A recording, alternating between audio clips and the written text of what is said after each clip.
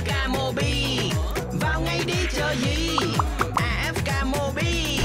Bao game chất lượng chơi ngay không phải nghĩ AFK Mobi. Hello, xin chào tất cả các bạn đã đến với kênh AFK Mobi. Hôm nay thì sói bạc sẽ có một video giới thiệu những cái hoạt động hay ho ở trong con game sắp về Việt Nam có tên gọi là Tuyệt kiếm cổ phong mobile. Như mình đã từng giới thiệu trong video lần trước thì con Tuyển kiếm cổ phong mobile này sẽ được nhà phát hành Soha Game phát hành tại Việt Nam.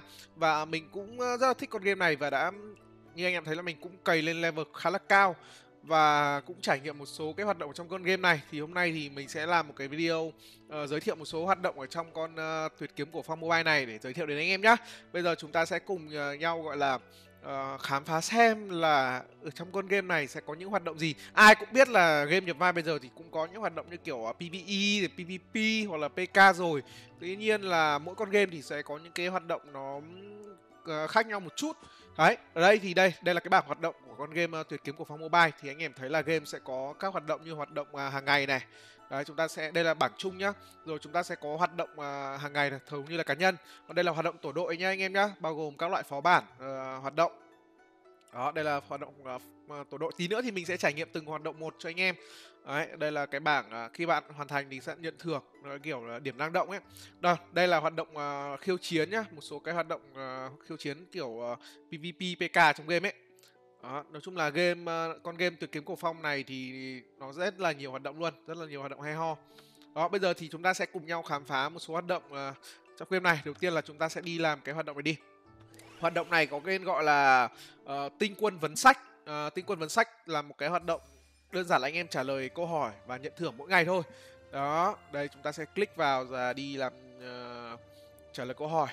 Nói chung là hoạt động này thì nó khá là đơn giản tuy nhiên là vì vì một lý do đó là tôi không biết tiếng uh, trung nên là thôi tôi có trả lời bừa. Đợi bản việt ra thì anh em có thể uh, trả lời uh, nó chuẩn hơn. Vì nếu các bạn trả lời đúng uh, ít nhất là bốn câu hoặc là tối đa là bảy câu ấy thì các bạn sẽ nhận được thưởng à, xem phần thưởng. Ở đây thì mình trả lời bừa đấy mình cứ click bừa vào thôi. Đấy, mình có để những cái hiện cái thao tác tay nhá để cho anh em biết là mình đang chơi thế nào nhá. Đó để mình sẽ trả lời câu hỏi này. Thôi tôi sẽ trả lời bừa thôi chứ cũng thật ra là cũng uh, hơi khó ờ, để để để để, để, để, để trả lời đúng hết được. Rồi chúng ta sẽ đến với hoạt động tiếp theo này. Có lẽ là mình sẽ chọn cái hoạt động uh... ở đây cái hoạt động thế nào. Có lẽ là mình sẽ chọn cái hoạt động à, này đi.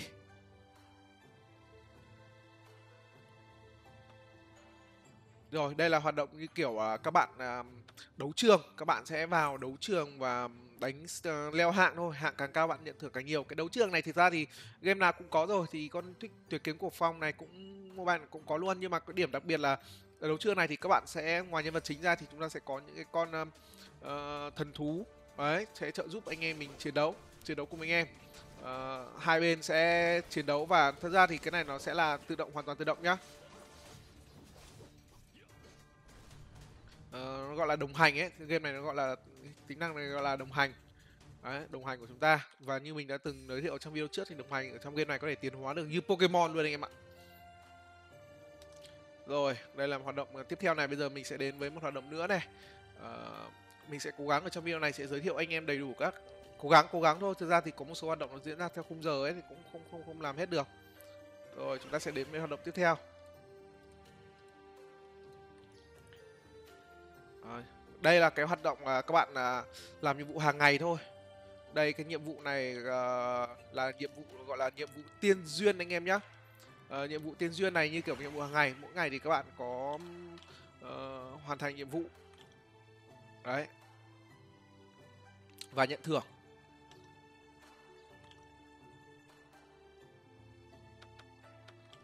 À, cái nhiệm vụ này thì các bạn chỉ cần uh, click vào rồi nhận nhiệm vụ rồi tự động uh, game sẽ tự động đi làm nhiệm vụ thôi. Cái này thì khá là dễ rồi. Đấy đến nhiệm vụ tiên duyên này mình sẽ đánh qua đánh npc nó ra những nhiệm vụ của các bạn bắt bạn mua đồ rồi nói chuyện npc hoặc phải đi đánh uh, những con npc khác nhau ấy để uh, hoàn thành thôi. Cái này thì quá là dễ rồi. Thực ra thì uh, thật ra thì không không có gì um, khó cả. Đấy nhưng mà cũng là một hoạt động để mang lại cho anh em uh, rất là nhiều điểm kinh nghiệm. Nếu các bạn muốn kiếm điểm kinh nghiệm ở trong con game uh, uh, tuyệt kiếm của phong này thì chắc chắn là sẽ không thể bỏ qua được cái hoạt động uh, uh, này nhá. Rồi bây giờ chúng ta sẽ đến với hoạt động tiếp theo này. Mình sẽ cố gắng là giới thiệu với anh em mình cũng cố gắng dịch cho cho anh em đấy, đấy để giới thiệu với anh em đây đây là một cái hoạt động uh, khác đây cũng là một hoạt động đây cái này như kiểu uh, leo tháp nha anh em nhé thí luyện đây là một hoạt động lý thuyết uh, ờ, lý, thí luyện uh, leo tháp. Và đặc biệt thì game nó sẽ tích hợp thêm cả cái dạng kiểu nhận thưởng offline nữa. Nhận điểm offline mỗi ngày nữa các bạn thể nhận thêm phần thưởng. Đó cái leo tháp này các bạn cần uh, thứ nhất là cần đủ lực chiến thứ hai là mình khuyên là các bạn không không nên auto hoặc là có có thể là do cái nhân vật mình đang chơi bản nước ngoài nó yếu quá cảm giác auto khổ dã man ấy.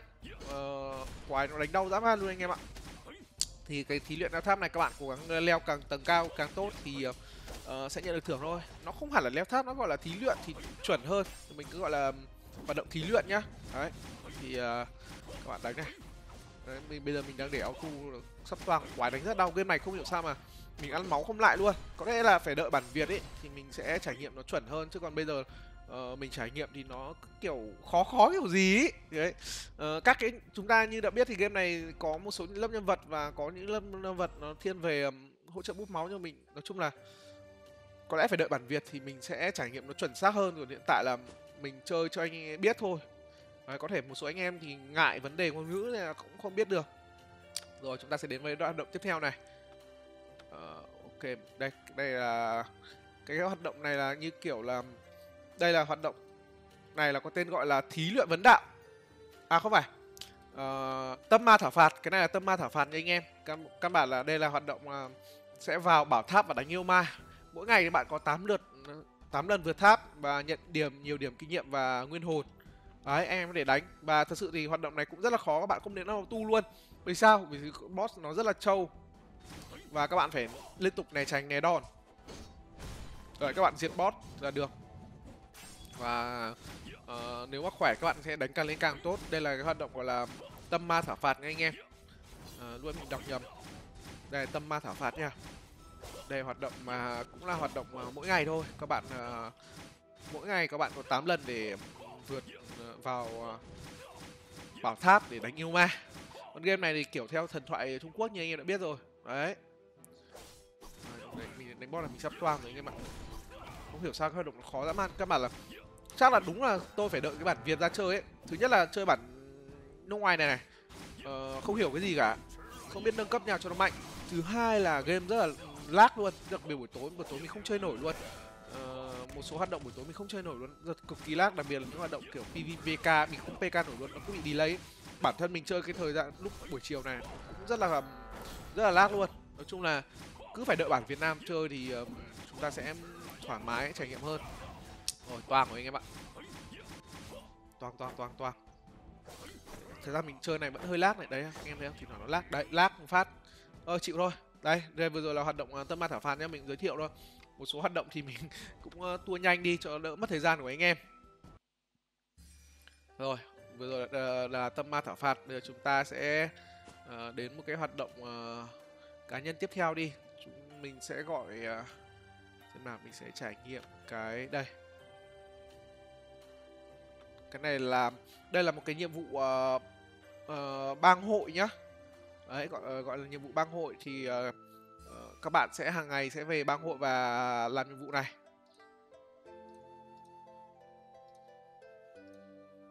Uh, bang hội trong cái con uh, tuyệt kiếm cổ phong này thì gọi là uh, tông môn nhá tông môn. Đấy, bang hội trong game này gọi là tông môn. Đây cái nhiệm vụ hàng ngày thì chúng ta có 8 nhiệm vụ và các bạn hoàn thành nhiệm vụ 8 hoàn thành nhiệm vụ này trong khoảng uh, Ờ, mười mấy tiếng ấy nói chung là nửa ngày thì các bạn sẽ nhận được thưởng.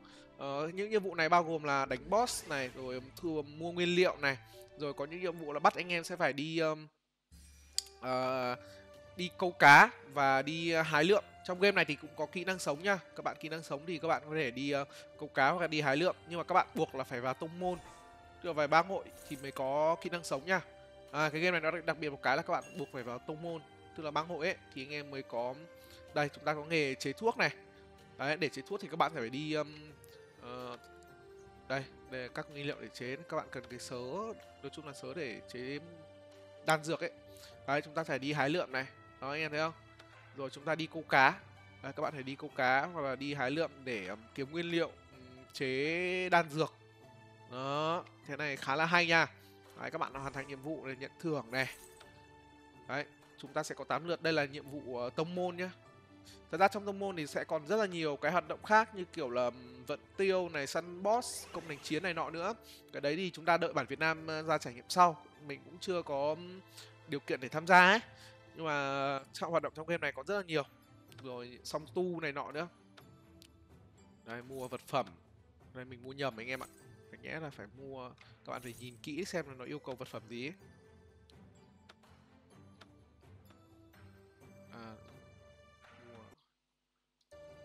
Ok khi mà đây mình mua chuẩn này. Ta sẽ phải đây mình phải mua hai. Đây là đúng kiểu không biết ngôn ngữ này phải mua bừa ấy. Đó mình mua xong này. Và trả thưởng. Đó anh em thấy không? Đó, hai nhiệm vụ. Các bạn phải hoàn thành đủ 8 tám nhiệm vụ thì mới có thể trả trả nhiệm vụ luôn rồi nhá. Các bạn phải làm hoàn thành 8 nhiệm vụ nhỏ thì các bạn ờ, sẽ hoàn thành cái nhiệm vụ tông môn và nhận thưởng rất là nhiều rồi bây giờ chúng ta sẽ đến một cái uh, hoạt động nữa cũng là một hoạt động uh, cá nhân thôi. Là hoạt động cái này như kiểu mini game giải đố anh em. À, ngày mỗi ngày thì bạn có thể tham gia ba lượt.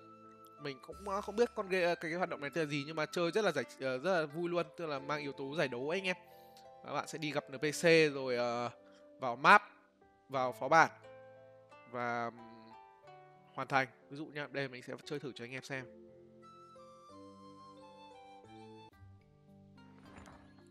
Rồi chúng ta sẽ bắt đầu này. Như cái hoạt động à, có rất nhiều mini game nhá. Có mini game này là tìm điểm sự tìm điểm khác biệt này. À, con hổ này thì các bạn phải tìm những con nào mà nó nó sẽ có nhiều điểm khác biệt lắm. Ví dụ là tên gọi này hoặc là hình dáng này nọ. Ví dụ mình đánh sai nhá là mình sẽ phải chơi lại từ đầu. Đó anh em thấy không? Tức là các bạn phải chọn đúng ra cái con thú mà khác biệt nhất. À, chơi mình kiểu giải đố ấy. Mình rất thích mình rất thích cái đây đánh sai này. Anh em thấy không? Là sai lại phải bắt đầu lại từ đầu luôn.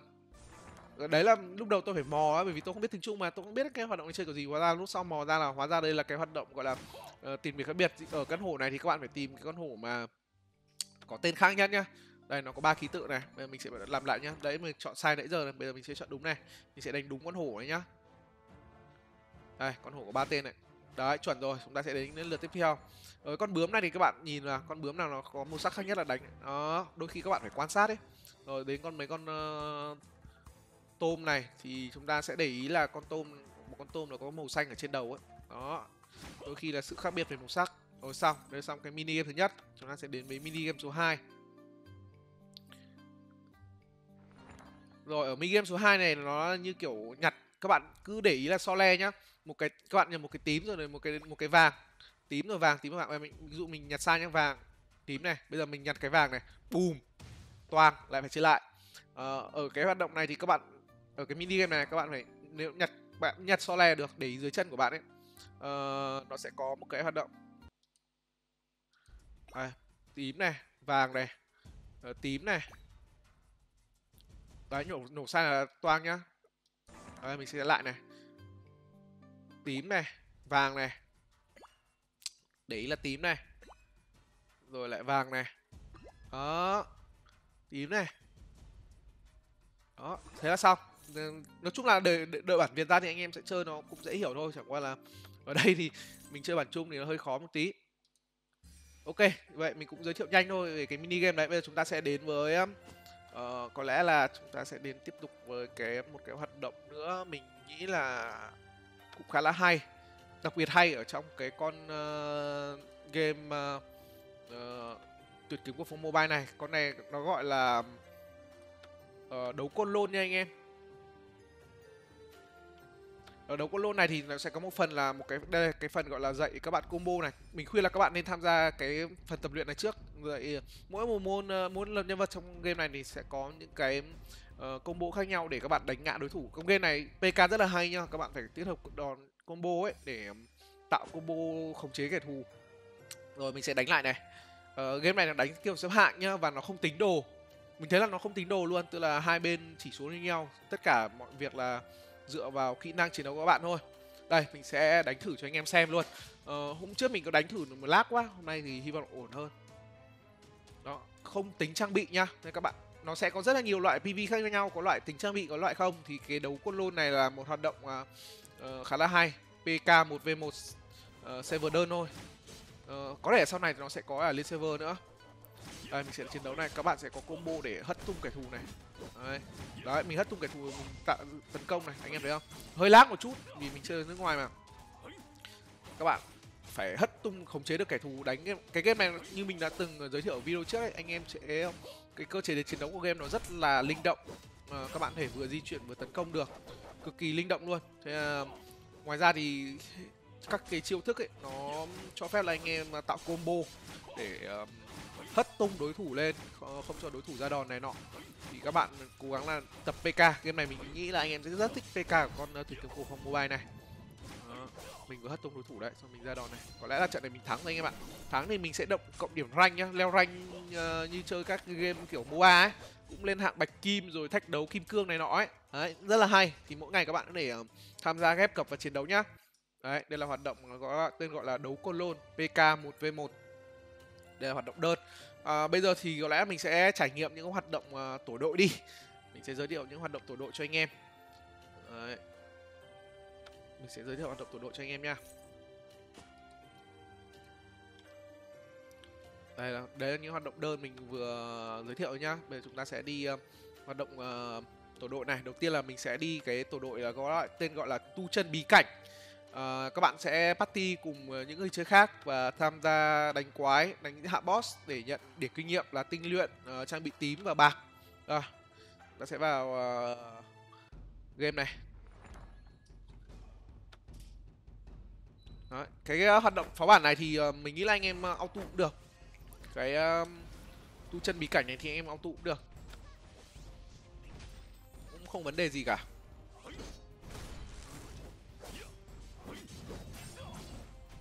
Đánh nó cũng khá dễ thôi. Nhưng mà đặc biệt là uh, thứ nhất là game này các bạn tổ đội thì nên có bút bút máu.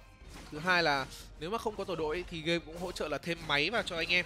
Tức là thêm npc trợ giúp vào. Nhưng mà thật sự là mấy thằng npc nó cùi bắp lắm. Tất nhiên là anh em nên kiếm người chơi um, cùng nhau ấy ở đây là mình đang chơi cùng ờ, npc nó trợ giúp mình à. nhưng mà nó yếu xìu à. Thì đi một số hoạt động nó mình bọn này nó cứ yếu yếu của gì ấy đấy thì uh, tốt nhất là các bạn sau này nếu mà chơi bản việt thì chúng ta sẽ có người chơi hơn. Thì anh em sẽ vào đó và đi phó bạt kiếm uh, kinh nghiệm này bạc này trang bị này các thứ. Đấy đồ họa game này em mình đang để mức thiết lập là cao nhất nhá và để 60 fps luôn. Đồ họa rất là đẹp theo phong cách ờ, uh, cổ phong. Hoạt hình mang hơi hướng hoạt hình một chút nhưng mà uh, cái bối cảnh theo xây dựng theo kiểu kiểu thiết kế theo kiểu cổ phong như kiểu tranh vẽ mình rất là thích có hôm mình up video này lên thì có rất là nhiều bạn uh, rất là hứng thú với con uh, tuyệt kiếm cổ phong mobile này. Thì hy vọng là nếu mà nó về Việt Nam thì đây sẽ là một cái bon con bom tấn thật sự luôn. Hy vọng hy vọng hy vọng. Đấy. Ờ, mình sẽ tua tua bớt đi nhá cho tiết kiệm thời gian. Anh em anh em hạ boss thì nhận thưởng thôi. Đó mình nhận được trang bị này. Ôi đèn đấy không nhận được đồ tím. Nó cũng là nó cũng uh, tùy thuộc vào nhân phẩm của anh em ấy ok bây giờ chúng ta sẽ đến uh, một cái um, hoạt động tiếp theo. Có tên gọi là hồng hoang lục. Đây là một cái cũng là một hoạt động phó bản đánh boss thôi và các bạn sẽ vào à, cảnh. Cũng hoạt động tổ đội nha các bạn sẽ vào cảnh nhưng mà nó nó khó hơn. Đấy một tổ đội 5 người nha anh em. Và các bạn sẽ vào lại mình sẽ vào lại này. Level 48 mở ra ờ, trong hoạt động này thì các bạn đánh quái và nhận điểm kinh nghiệm nhận bạc và trang bị cam. Nó cũng không quá khó đâu. Ừ, chủ yếu là các bạn auto cũng được nhưng mà nếu các bạn ờ, tốt nhất là nên có những người chơi uh, khác hỗ trợ cùng bởi vì là các bạn đánh càng nhanh. Ê, nó có bạn nhìn thấy một thanh màu cam và thời gian đếm lùi không? Cái thanh màu cam này hiển thị nếu các bạn ờ, đánh càng nhanh ấy thì các bạn sẽ nhận thưởng càng nhiều. Nó sẽ cứ sau 3 phút thì nó sẽ mất đi một vạch đó thì ờ, các bạn nếu bạn đánh lâu quá thì phần thưởng nó ít đi thôi. Đấy thì anh cố gắng là muốn nhận được thưởng nhiều ấy thì ờ, các bạn cố gắng đánh thật nhanh vào. Đây mình phải vượt qua cái này đã. Đấy, như kiểu mấy cái con hải sản mình đang lặn xuống biển anh em ạ. Ảo cảnh dưới biển à, cản đường mình ok vào đánh này. Nhiệm vụ này thì chủ yếu là đánh quái thôi và cuối thì nó sẽ có boss. Uh, cái nhiệm vụ này thì buộc là anh em phải đánh càng nhanh tốt. Nói chung là một là anh em uh, tổ đội đồng đều ừ, người chơi với nhau. Và thứ hai là các bạn nên ờ, ví dụ mà có người kéo được thì tốt. Ví dụ bạn chơi sợ level server sau chẳng hạn đánh nó nhanh hơn. Đấy, chúng ta sẽ chủ yếu đánh quái thôi anh em nhá. Đây có số lượng quái này hai con nào hai con gì hai con gì đấy bốn con gì đó. Đấy mình đang đếm lùi thời gian này anh em thấy không? Nó vạch một can nó đang giảm giảm dần rồi. Thì uh, đánh càng lâu thì mức uh, phần thưởng nó càng giảm thôi. Đấy anh em lưu ý ở cái đấy.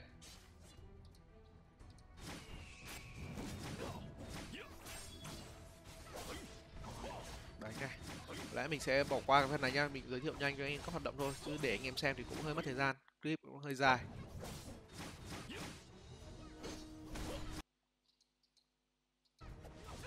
Đấy, chủ yếu đánh quái thôi nhá. Ạ đánh, nó sẽ có rất là nhiều đợt quái.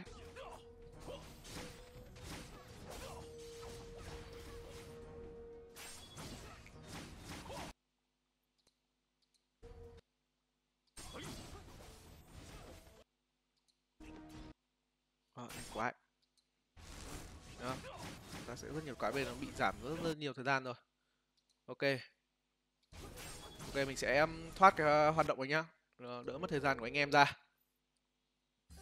Rồi chúng ta sẽ đến với uh, một cái uh, hoạt động tiếp theo đi.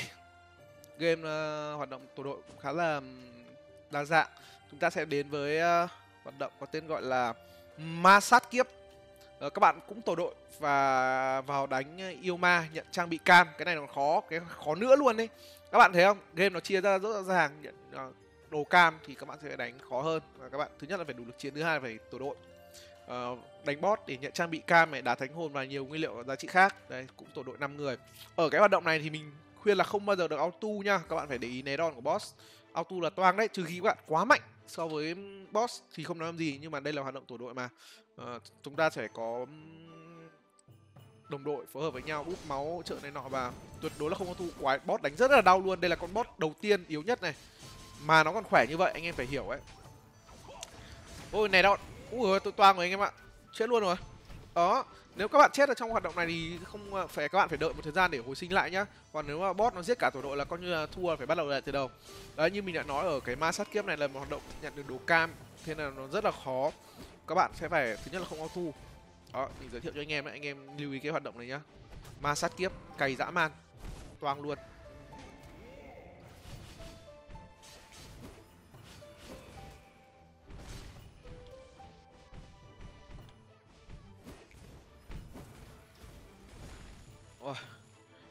Toang rồi anh em ạ. Đấy.